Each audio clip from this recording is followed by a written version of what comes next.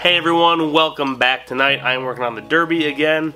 This has drum brakes. The forks I bought are hydraulic with a disc brake caliper mount on them, so they don't play well together. My plan tonight is to make an adapter for these forks to work on a drum brake.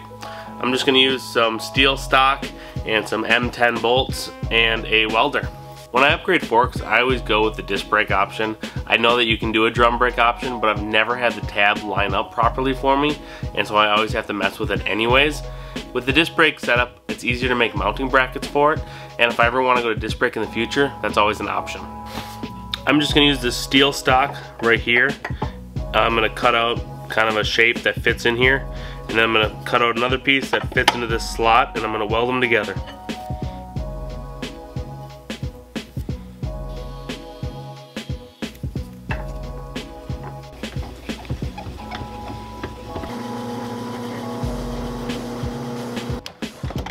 I need a 6.8 millimeter drill bit for these holes.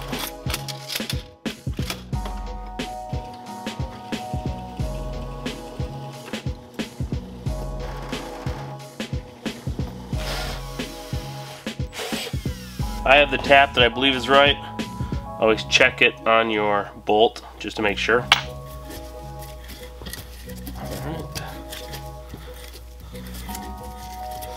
And we are all the way through.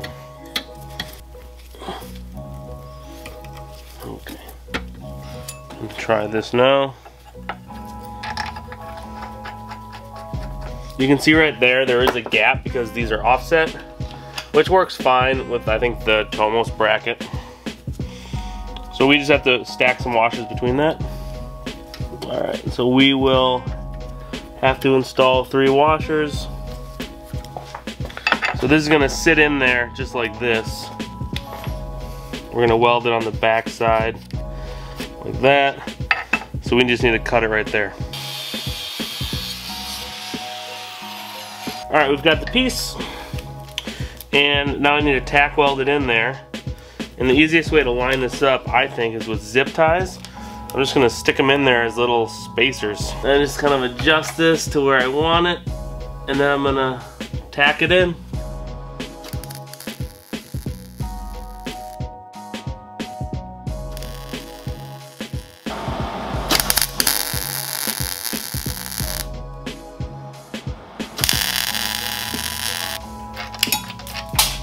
Ooh, there those go.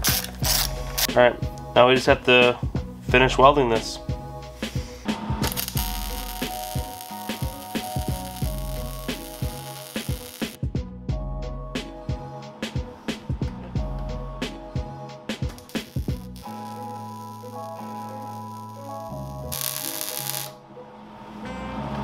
Alright.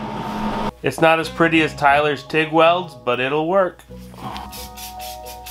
I'm just gonna paint it black real quick and then hang it up in front of my heater for an hour.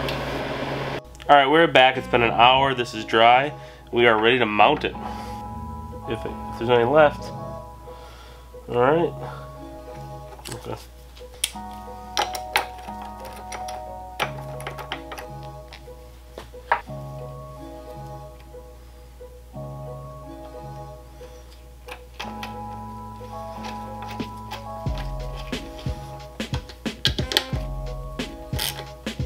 There we go.